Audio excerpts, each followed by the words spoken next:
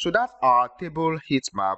However, uh, I may have one or two other adjustments that I would like to to format. First, we'll have to include a title on this table for clearer description. So I will go to general section.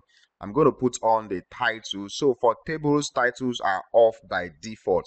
So I'm just going to put on the title and I'm going to expand this so that I can type in something there.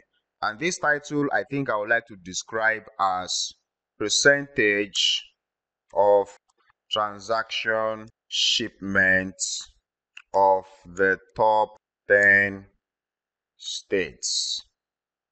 And that will be my title. One other thing I will also probably want to do is to adjust the width of the columns so that I can utilize the extra white space that we have here. And how you adjust the width of columns inside a table is you have to come into the table itself and then try to go to the boundary of any of the columns like this until you see this uh, cross there. You can use that to drag and expand the column width.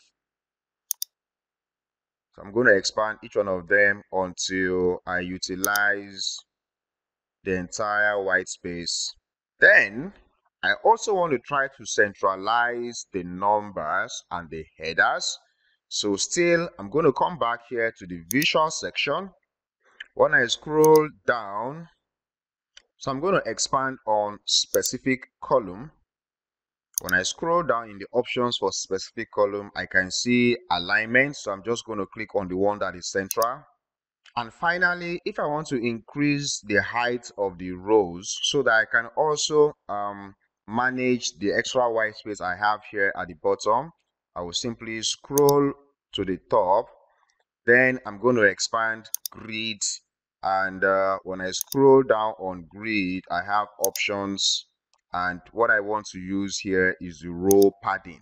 So I'll keep on increasing the row padding until I find a good uh, number that fits. So let me increase this to number three